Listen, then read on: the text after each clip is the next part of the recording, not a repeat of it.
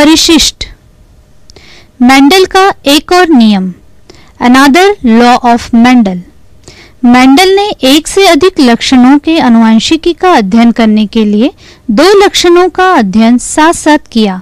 उदाहरण के लिए उन्होंने लगभग 600 बीजों में गोल और पीले, capital R R capital Y Y दाने वाले बीज और झुर्रीदार हरे small R R, small Y Y दाने वाले बीज के पौधों पर पर परागण करवाया। जनक पौधे के दोनों गुण यानी गोल पीले या झुरेदार हरे शुद्ध थे। इस तरह बने बीजों से जो पौधे बने, उस सब में दाने गोल पीले थे।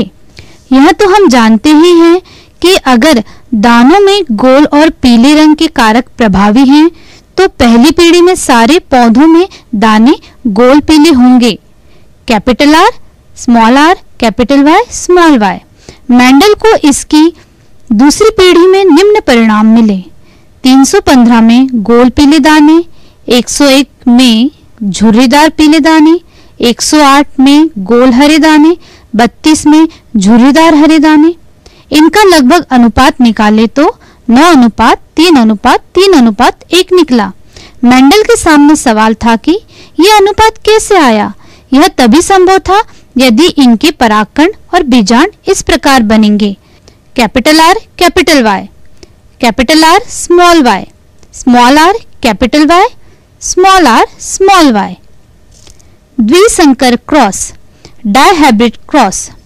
मेंडल ने यह निष्कर्ष निकाला कि अलग-अलग गुण एक दूसरे से स्वतंत्र रूप में अगली पीढ़ी तक युग्मकों द्वारा पहुँचते हैं। इसी को स्वतंत्र अपयूहन लॉ ऑफ़ इंडिपेंडेंट असॉर्टमेंट का नियम कहा गया।